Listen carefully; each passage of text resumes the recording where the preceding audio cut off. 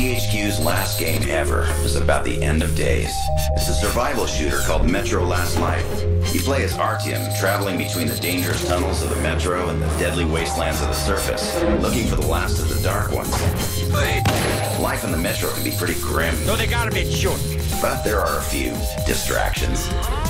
If you want to stand a chance against both man and beast, you'll definitely need to upgrade your weapons. There's plenty of action underground, but it's the missions to the surface that really make it fun.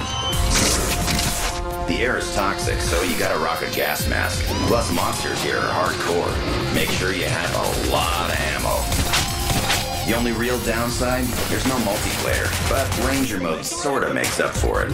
This one's a slow burn, but in the end, it's worth it. Metro Last Light gets an 8 out of 10.